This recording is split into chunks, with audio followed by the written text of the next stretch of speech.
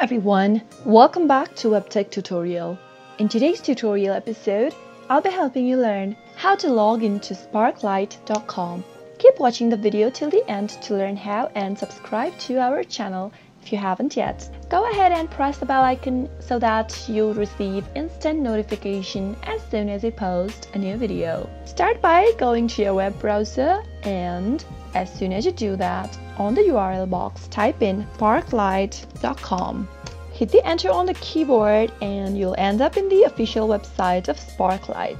In order to log in, click on Customer Login at the upper right corner of the screen and soon you'll be taken to the login page of Sparklight. Start by entering your username in the first field and move on to the next one. Type in a password for your account. Make sure to type it in correct every time you log in. And if you are not sure you have typed in the correct password, then you can click on show in order to reveal the password so that you can double check your password and move on. In case you've forgotten your password, click on password link at the bottom and similarly you can also click on the username link in order to get access to your account when you've forgotten your username or your password. After you're done entering the credentials, click on the sign in button and you will be logged into Sparklight account. That is all for today.